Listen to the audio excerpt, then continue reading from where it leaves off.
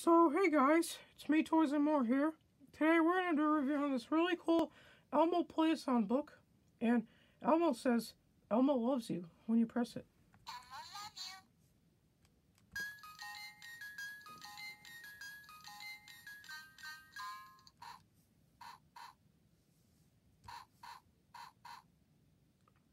Every time you press that dog named Barkley, um, he barks in many different orders or times.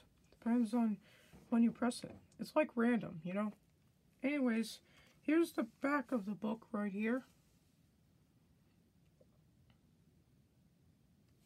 And this book was made in 1997, which was actually the same year as the Ernie one, the one that says Goodnight, Bert.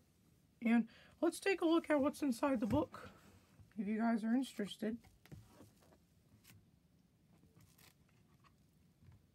And Elmo's actually my fourth favorite character, by the way, on Sesame Street.